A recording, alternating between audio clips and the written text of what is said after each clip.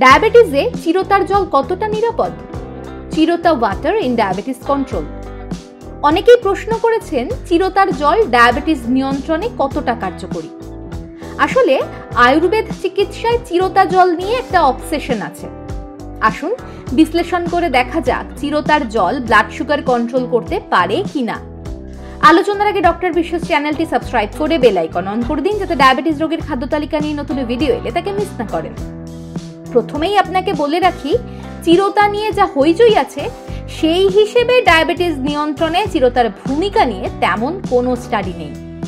ইঁদুরের ওপর কিছু গবেষণা থেকে দেখা যাচ্ছে, চিরতা ব্লাড সুগার কম করলেও করতে পারে। এখনও নিশ্চিত করে কিছু বলা যাচ্ছে না। বিভিন্ন মেডিকেল ও লাইফস্টাইল ওয়েবসাইট ডায়াবেটিস নিয়ন্ত্রণে চিরতার ভূমিকা নিয়ে বললেও, ডক্টর বিশ্বাস চ্যানেলের দর্শকদের কাছে তা যথেষ্ট নয়। কারণ আমরা জানি আপনারা সকলেই খুবই বিজ্ঞান মনস্ক চিরতা পাতায় কি কি উপাদান থাকে, তার রাসায়নিক বিশ্লেষণ ডায়াবেটিস রোগীদের স্যাটিসফাই করতে পারবে না। যতটুকু দেখা যাচ্ছে চিরতা পাতায় বেশ কিছু অ্যান্টিঅক্সিডেন্ট থাকে, যা ডায়াবেটিস ইন্ডিউসড অক্সিডেটিভ স্ট্রেস কমিয়ে ডায়াবেটিস কন্ট্রোলে কিছুটা সাপোর্ট করবে।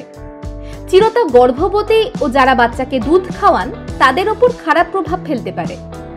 আপনার ইন্টেস্টাইনাল আলসার থাকলে চিরতার জল তাকে আরও মারাত্মক করতে পারে।